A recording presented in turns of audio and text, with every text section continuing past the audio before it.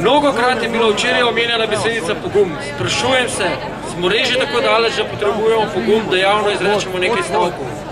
Zato sem danes tu, da podprem svobodo govora in pokažem, da imamo tudi anonimno pravico do lastnega mnenja.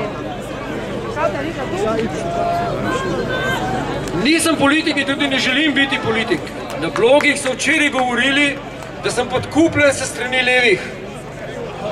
Jaz pa vam povem, tudi in predvsem zato, ker nisem politik, se me ne da podkupiti.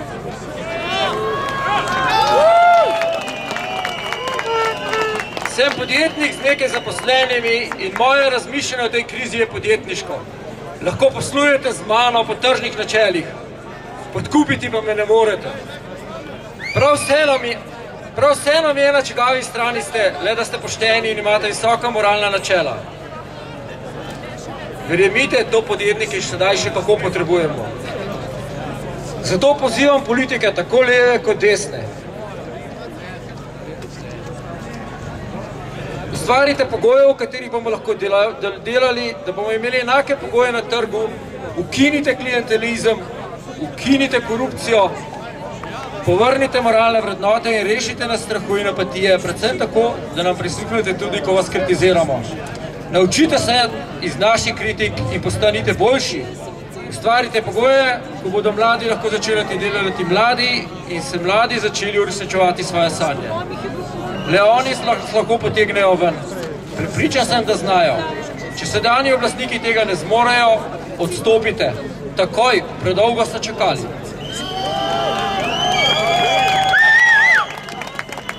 Ste, posa, če ste postavili komisije, njihove ugotovitve spoštujte. Če menite, da njihovi člani ne delajo, kot bi morali to, kot bi morali to argumentirajte in jih zamenjajte. Nikakor pa tega ne naredite šele takrat, ko obravnavajo vas.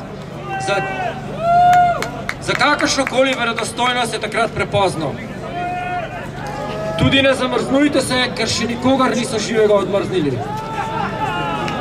Ker ste prvimi Ker ste prvi med enakimi, odstopite in začnite znova. Z majhnimi dejanji si povrnite ogled. Govorite o srebrnini, vendar ta srebrnina pušča na vse konce in kraje. Še posebej pa proti davčnim oazam. Imate spiske, pa jih ne objavite. Imate možnost, da ta denar vrnete, pa tega ne storite. Kaj čakate? Kako dolgo boste še čakali? Koliko, krat se moramo še zbrati? Odstopite naredite prostor tistim, ki bodo to, hoteli.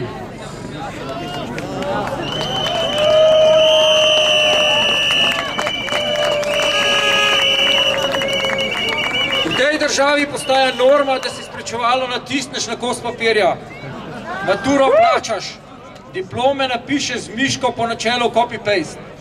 Brez najmanjšega sramu in po načelu me bodo že naši podprli, če bo kdo sitnaril.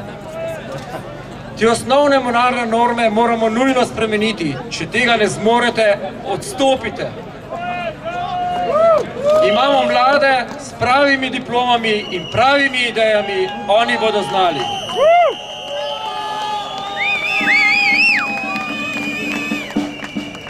Dovolj imam prevekanja o naših in njihovih ostricih, zarotah, rdečih in belih, levih in desnih ker verjetno sedaj že kot bivši član SDS-a bi bil danes lahko prav lahko govoril tudi na dopodanskem zboru. Če bi me seveda želeli slišati, pa me nočejo. Če bi lahko prosto povedal svoje mnenje, namesto tega so me bojda izključili. Nič hudega. Ker sem šel na napačne demonstracije. So res napačne? Bil sem, še, bil sem že na vseh dosedanih ustajah in na njih vidim zelo veliko mladih, ki mi je politika bolj kot ne španska vas, ki pa bi predvsem želeli prihodnost, ki smo jo mi stari že skoraj zapravili. Vidim mlade, ki si želijo službe, enake možnosti in vidim mlade, ki še imajo moralne vrednote in vem, da jih je zadaj še veliko.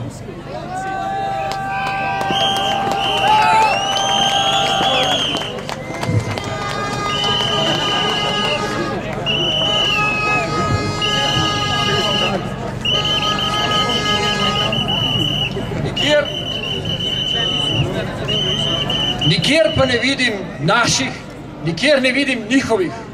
Politiki, dajte se že enkrat dopovedati, vsi smo vaši.